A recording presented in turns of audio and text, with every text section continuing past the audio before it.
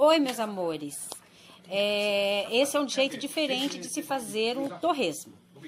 Eu coloquei alho, olha, no temperando, né? O toucinho, isso aqui é toucinho, tá? Eu faço questão do alho. E coloquei um pouco de óleo na panela e jogo o toucinho.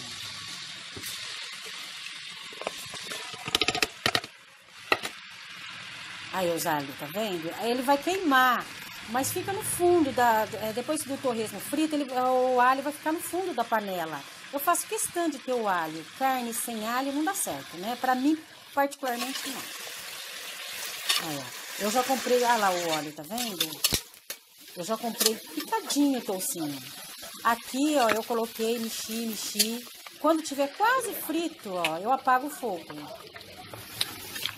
e tampo e deixo esfriar mais ou menos dois, duas horas. Uma, aqui eu deixei uma hora, né? Mas aí é a critério de você, ó. Quase frito. Já o fogo apagado. Eu tampo e deixo. Prontinho, voltei no fogo de novo, porque já estava quase frio. Aí aqui vou mexendo, mexendo, até você perceber que já tá fritando, né? Que Tá ficando é, douradinho. Eu gosto de toucinho, torresmo, bem, bem moreninho.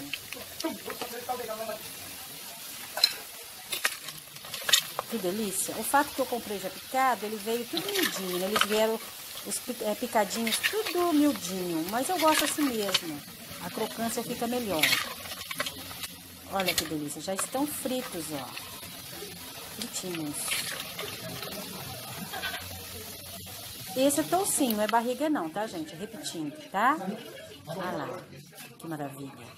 Fiz um anguzinho mineiro, né? Comida mineira. Tenho um arrozinho, uma couve, um feijãozinho lá no fogão. E é o nosso almoço.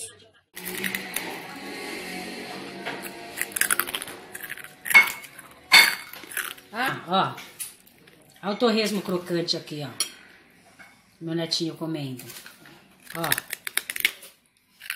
Ó. Não acredito. Bem crocante, ó.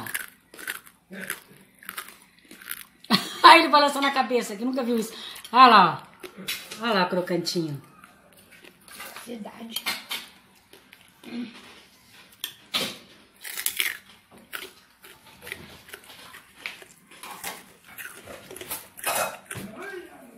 Olha pra cá. Pedro também. Pedro tá comendo agora, não é?